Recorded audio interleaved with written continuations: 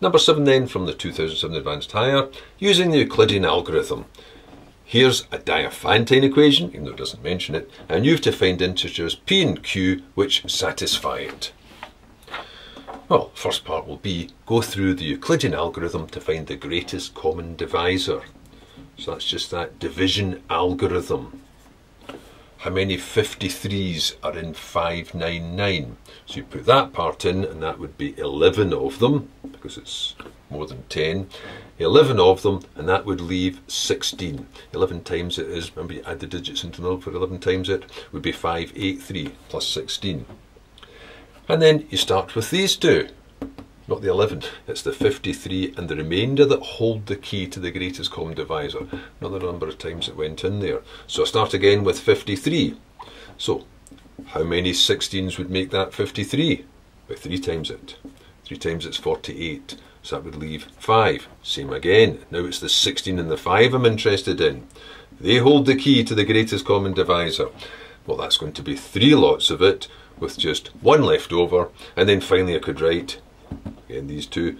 5 is equal to 5 times 1 plus 0, which means the greatest common divisor is just 1. Those numbers were in fact co-prime. That's the notation for the greatest common divisor, and that equals 1. Now retrace your steps here. So I'm going to start with my answer 1 and work backwards. So I'm going to have these three lines here.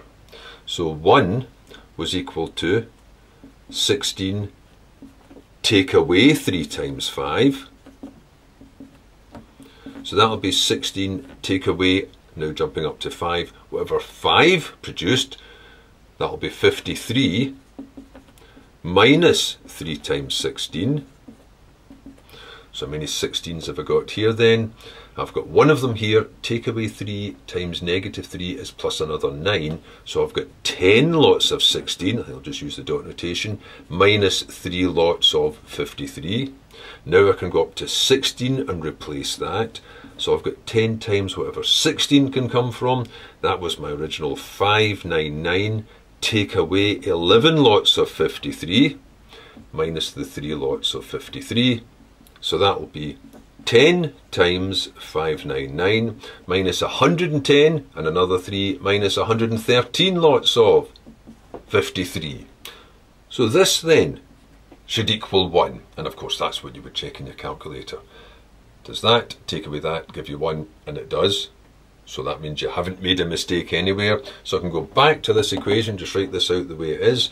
The original equation was 599 times something, 599 times 10, plus 53 times something, so it must be 53 times negative 113, and that does in fact make 1. So the solution that we're looking for was P was the 10, and Q was a negative 113.